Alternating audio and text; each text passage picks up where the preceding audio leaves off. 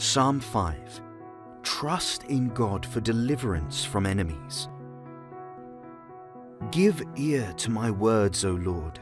Give heed to my sighing. Listen to the sound of my cry, my King and my God. For to you I pray. O Lord, in the morning you hear my voice. In the morning I plead my case to you and watch. For you are not a God who delights in wickedness.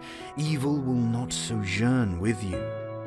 The boastful will not stand before your eyes.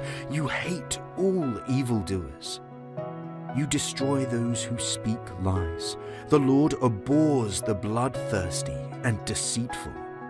But I, through the abundance of your steadfast love, will enter your house.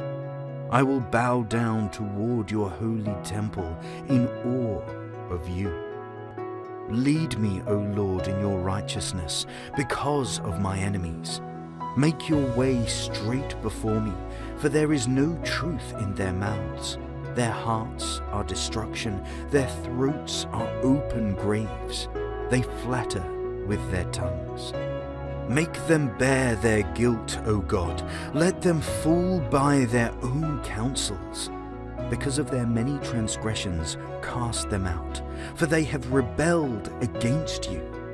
But let all who take refuge in you rejoice. Let them ever sing for joy. Spread your protection over them, so that those who love your name may exult in you. For you bless the righteous, O Lord. You cover them with favor as with a shield.